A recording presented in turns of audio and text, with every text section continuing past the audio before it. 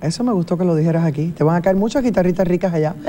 bueno, ahora vamos a hablar de hombres. Hay muchos hombres importantes para ti y van a estar presentes en este programa, unos en video, otros en persona. Este próximo galán no pudo estar en persona, pero te mandó este bonito mensaje. Arriba, Mauricio Islas. Ay. Todos querían hablar, todos querían hablar. Ay, qué Pero bonito. Adela, este, pues no pude estar ahí contigo, entonces estamos haciendo esto desde acá, pero te mando muchos besos y, bueno, aquí estamos. Haber trabajado con Adela Noriega, primero imagínate cuando estábamos haciendo esta novela El Manantial, eh, me dice la señora Carla Estrada, vas a trabajar, este, te quiero para una novela. Wow, ¿no? Pero vas con Adela Noriega, yo, eh, eh, perdón.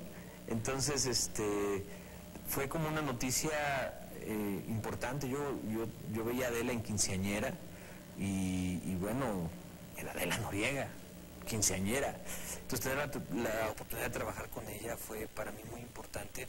El acercamiento que tuvimos en un, en un restaurante que Carla nos presentó. Eh, la primera impresión que tuve de ella fue una mujer auténtica, eh, segura, Wow. que sabe hacia dónde va enfocada Quiere. su vida, su objetivo, una mujer reservada, que también eso me gustó mucho, es una mujer que habla poco de ella en general, y, pero lo hace por, por autenticidad y eso habla muy bien de las personas, es una mujer que escucha.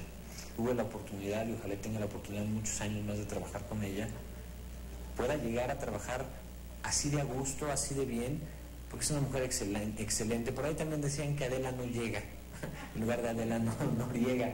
Y yo sí te quiero decir, lo quiero decir claramente, a mí nunca me tocó, eh, en casi ya dos años y medio que nos tocó estar trabajando Mm, juntos ya, desde el manantial y, y Amor Real, a mí nunca me tocó esa experiencia, entonces pido que, que hagan una corrección y regre- le regresen su apellido.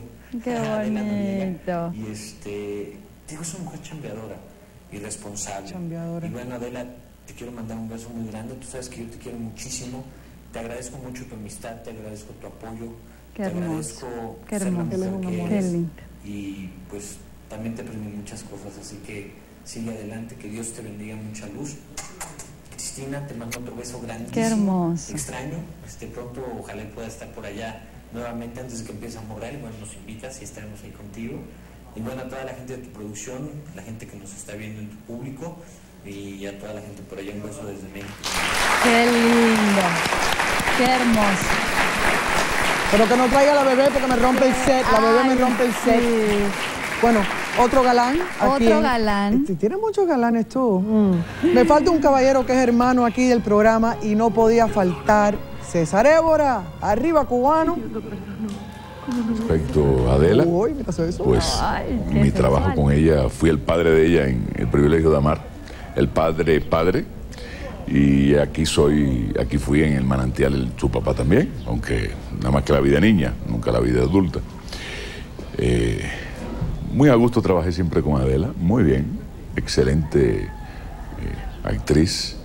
Mm, Me asombrará siempre su capacidad Sacaste A de para, para llorar. Cristina, muchas gracias.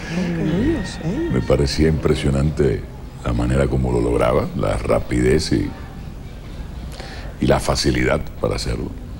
Puedo hablar nada más que maravillas de, de Adela y, y ojalá que algún día podamos trabajar de nuevo juntos. Será un placer. Gracias. Te esperamos aquí para el sushi y el tequila.